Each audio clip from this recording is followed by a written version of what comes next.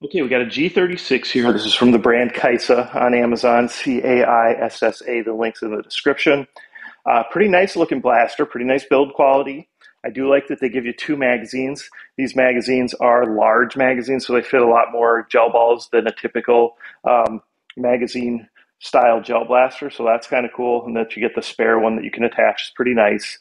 Charging handles right here. You can hear that running.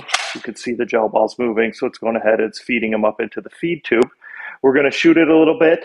I've already shot it a little already. Um, not going to see a 200 average, but we'll go ahead and we'll shoot it. We'll test the FPS.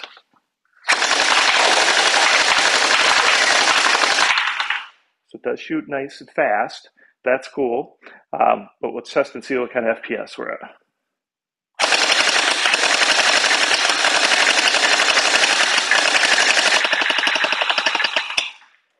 I'd say it's closer to like 160 on average for the FPS.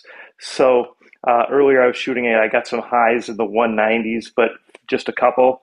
Majority of them I'm going to say are around 160. So that's where I'm going to put it for average for FPS is 160.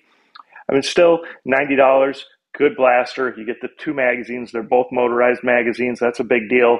You got the priming handle on there.